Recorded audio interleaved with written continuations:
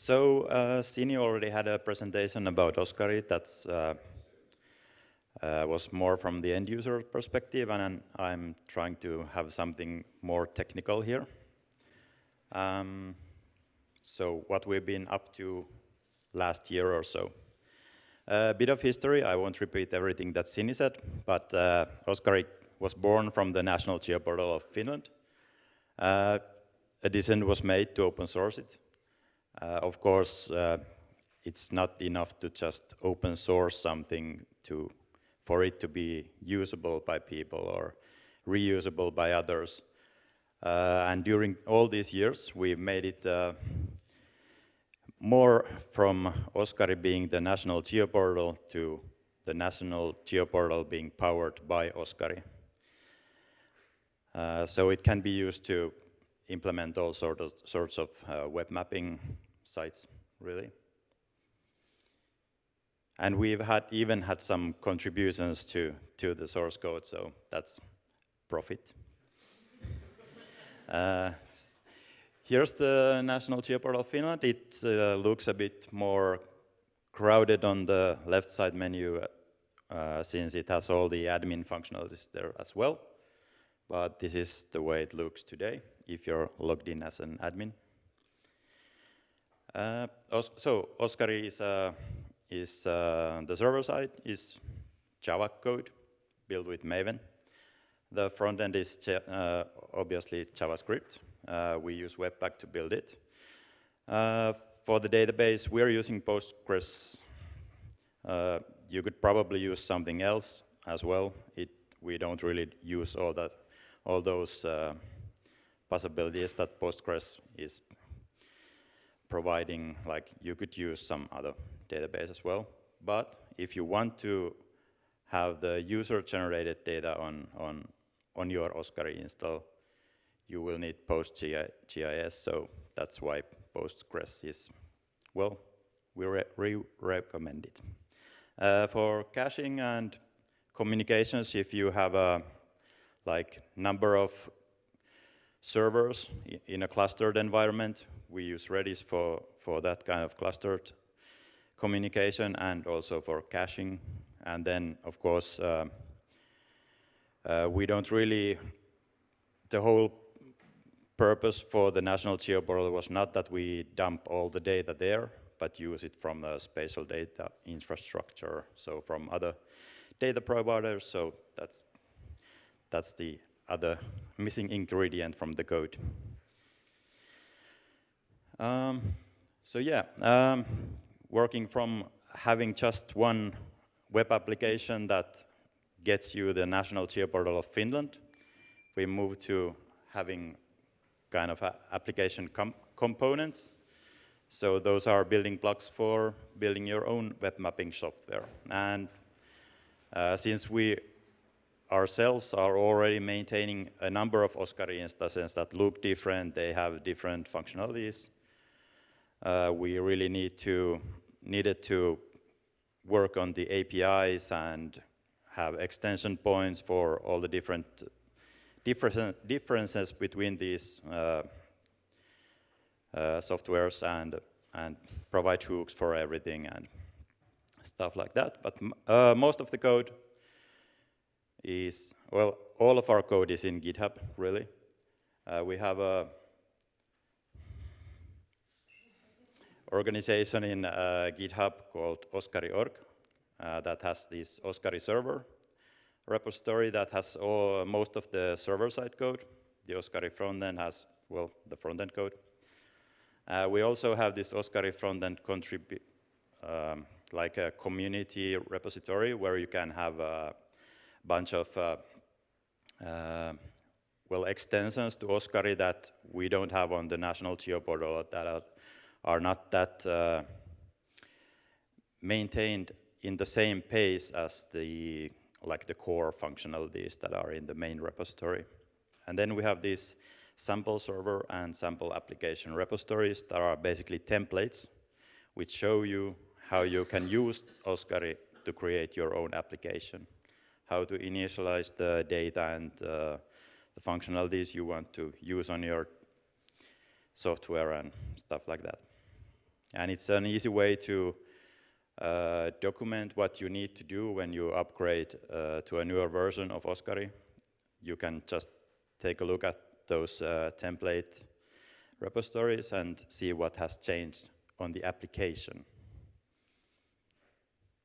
So last year we had two main uh, releases with five patches. Um, we most of our time has gone working on mobile support for the GeoPortal. So you can uh, publish maps that you can embed to other pages from Oskari. Those have been already like mobile friendly from the start, but the GeoPortal side was not, not that great for mobile usage, so that's kind of the main thing. Uh, we've worked much on improving theming and customization.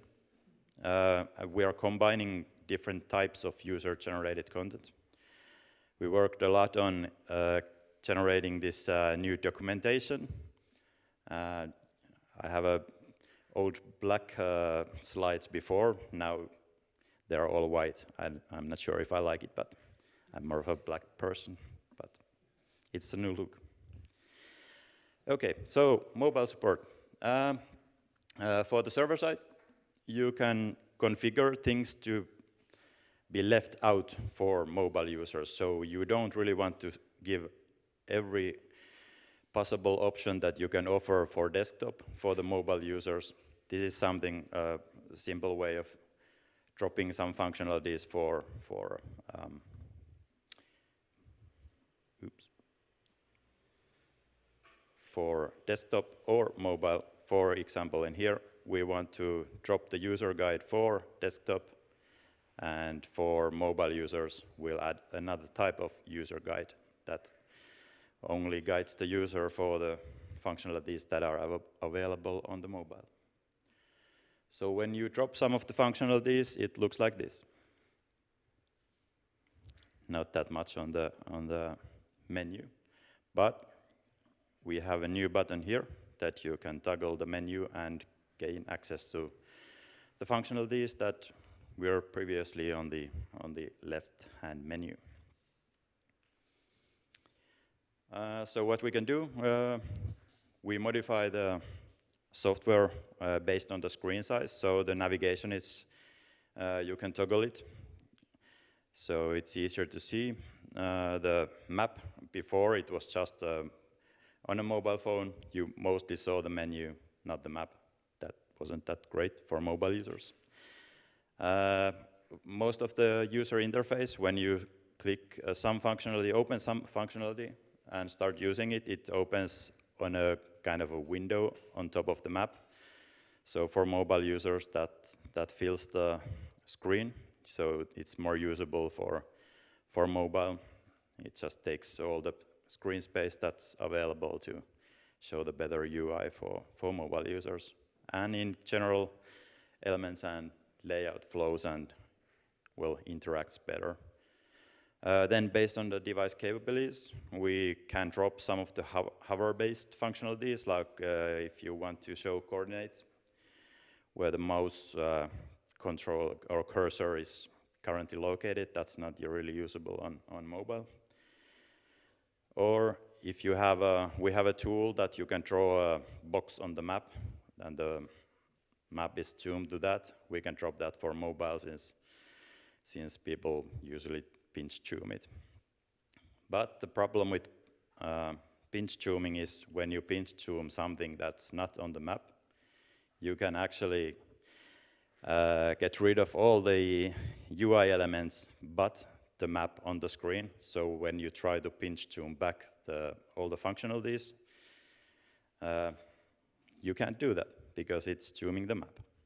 And we have a kind of proof of concept for detecting this kind of um, use case and for resetting the screen, screen zoom so, so the user can get back to the menus as well.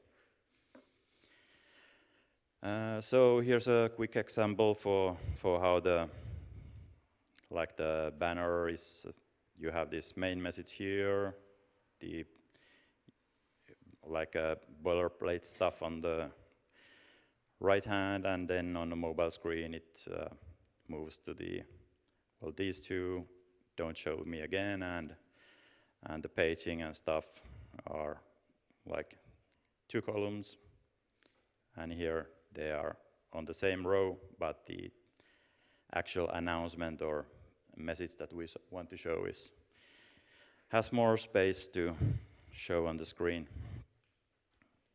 And here's an example for, we can just, on desktop you have this show mouse cursor on the coordinates tool. For mobile, it's dropped.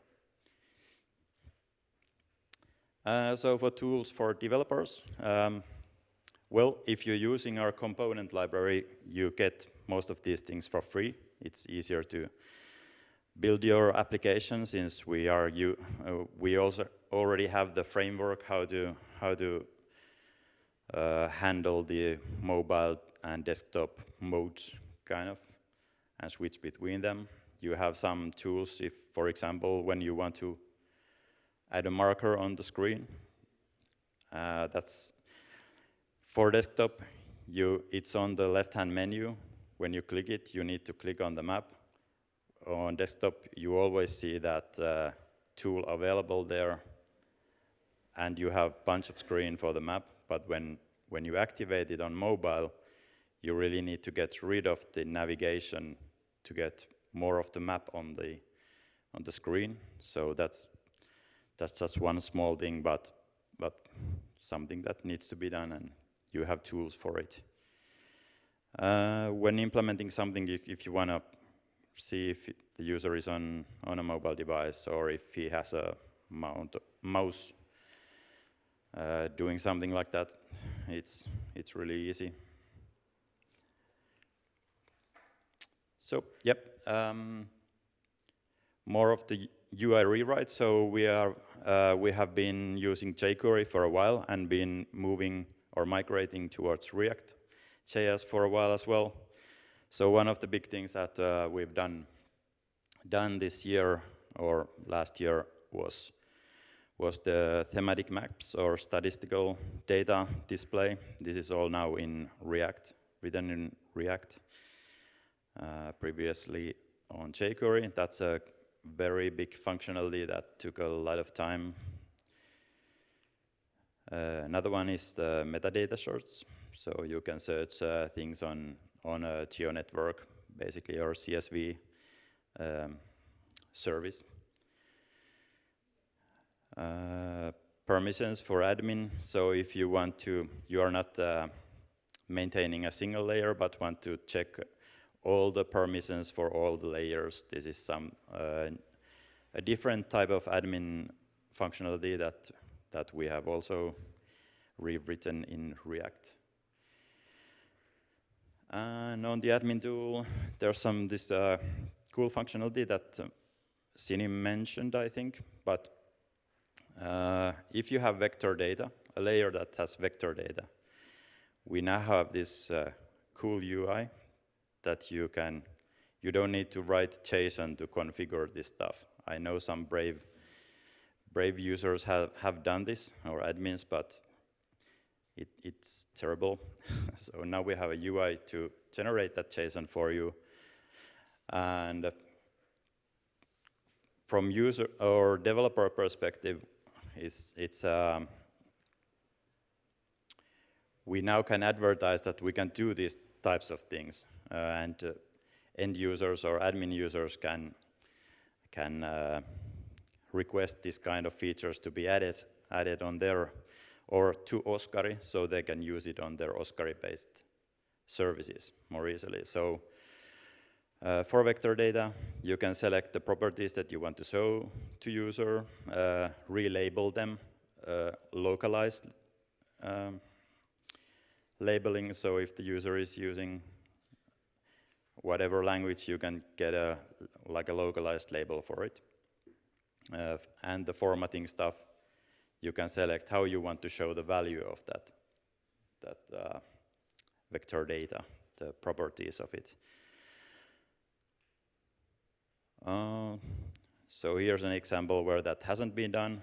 These are kind of non-user friendly names for the properties, but this is showing uh, vector data that for all of these features, you have it on a on the uh, like an object data data uh, table. Yeah, moving on. So for the user-generated content, we have three types of uh, user-generated content at the moment. One is when users draw on the map to create these uh, or modify the features. They have fixed properties, they are editable. Another type is imported. Um, you get the properties that's on the vector data that you import, but you can't edit that later. And then as a result of a analysis, uh, where the features get, well, they inherit the source layer, so, so there's that. And these are all done uh, or saved separately, and we want to change that. We've been using GeoServer to, uh, to provide all of these in WVFs, VFS. Uh, and now we have changed, started working on migrating these or combining these. And we have actually dropped GeoServer to make it more easier to do and just do direct DB queries for them. So that's where we are today, which also means uh, less maintenance on the servers when you update uh, Oskari, you don't need to update your server. One less thing to worry about. Uh, next thing, next steps are we want, we want to migrate these contents to the same format, like uh, same table structure and everything else. Have it as a single source for everything user generated. And of course, we need to combine the front end changes. Um, yeah, well, quick word of theming. It's improved. Um, yep, just moving along. so the documentation, that's, uh, it's not up yet on oskari.org, uh, but we have everything we have for it now in these two repositories. So the documentation has the, well, documentation, and the one with the site has the it's a Node.js uh, application that serves the content. So you can take a look if you want to and set it up on your own, own machine. Uh, it's coming up later, or we are launching it later this year.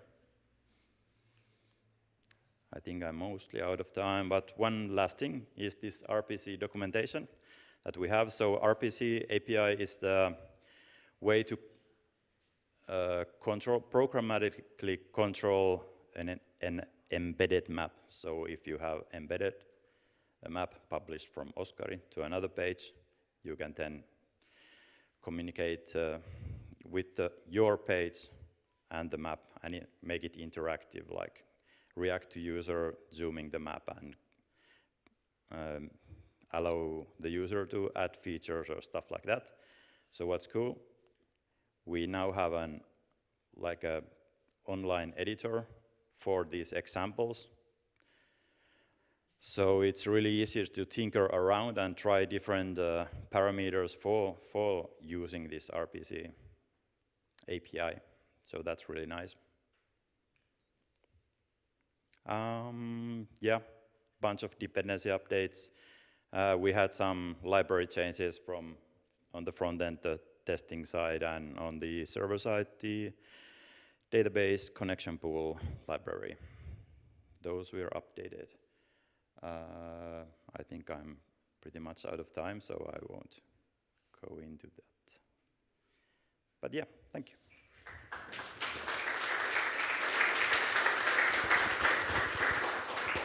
Thank you, Sami. That was perfectly in time. Any questions? Yes.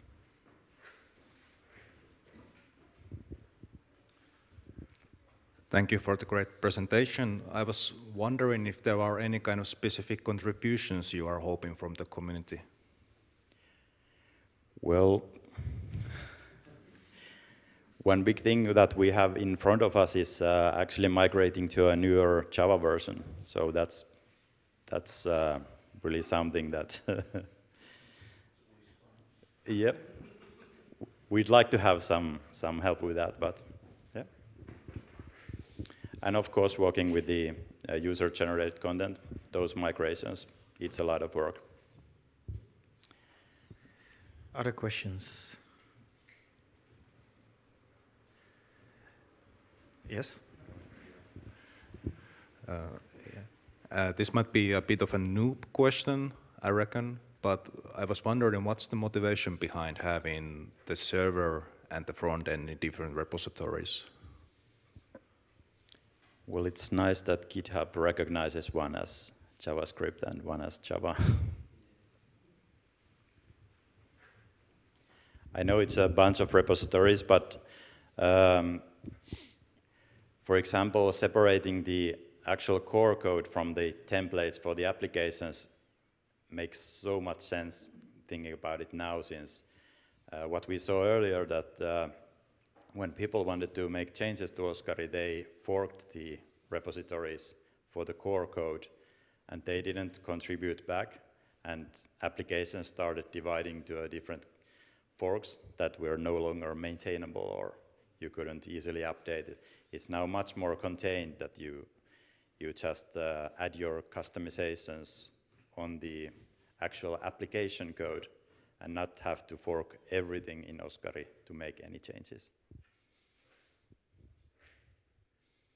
There's still time for questions. Any more questions?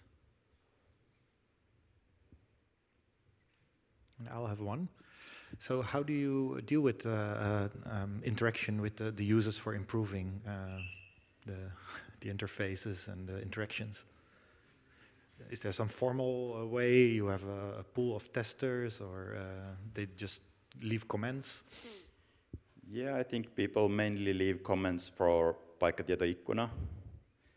And well, we have this uh, Gitter that people can ask question about if whatever they, it's more of a technical channel.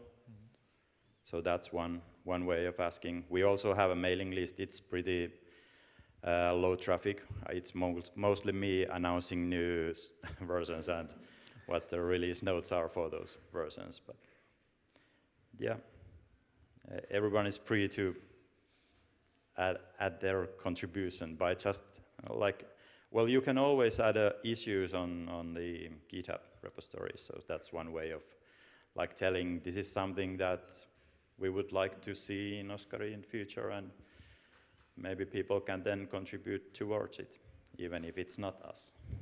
Okay. More questions? And Oskari means otter or what?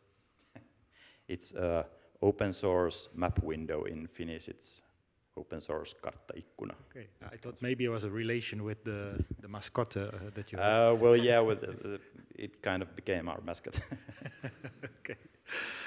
If there are no more questions, I would like to thank Sami for the nice presentation. yeah.